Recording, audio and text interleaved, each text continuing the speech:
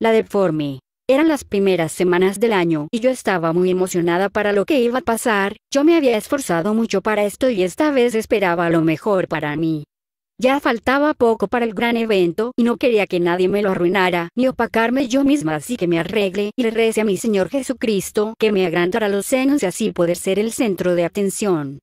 Luego de pasar los días y prepararme para el evento, empecé a tener sueños húmedos, digo extraños, en mis sueños aparecía una deformidad y era algo indescriptible, los ojos los tenía uno aparte del otro y su cara, su cara era totalmente inhumana, era como si un demonio hubiese violado a un alien, y lo más extraño de todo era que estábamos en el evento que estaba esperando, y ella esa cosa era el centro de atención, de repente desperté y estaba sonando una canción si así se le puede llamar, era algo horrible lo que sonaba en la radio, me asusté tanto que empecé a llorar, luego de pasar dos o tres días, llegó el gran momento, el momento en el que yo sería la ganadora, así que me alisté y me empezaron a crecer las boobies, todo era tan mágico, pero no todo dura para siempre, cuando estaba en el evento. Lo vi, vi al monstruo que me estaba atormentando en mis sueños, y todo el mundo lo veía y nadie decía nada, la gente le tenía miedo. ¿Miedo a qué?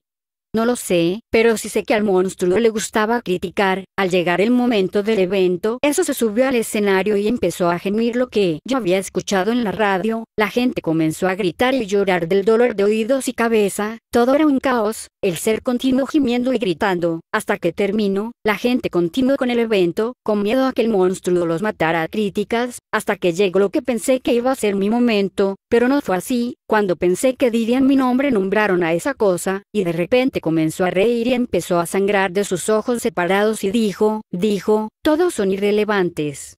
Britney Spears. Historia real, basada en